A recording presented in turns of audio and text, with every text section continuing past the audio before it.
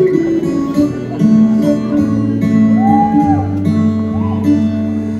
I could just go back in time and see the world again through the eyes of a child. Bring monsters and fairies to life and chase away the demons I got in my mind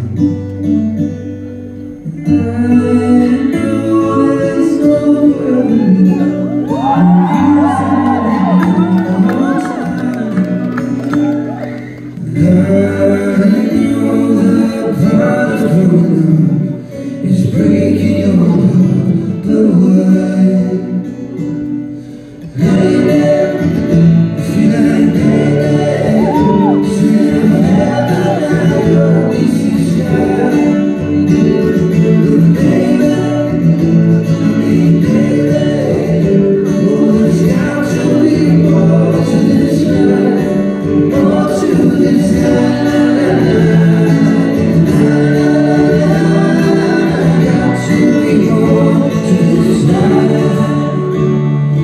used to look up to the stars, reaching out my hands, but they didn't seem far.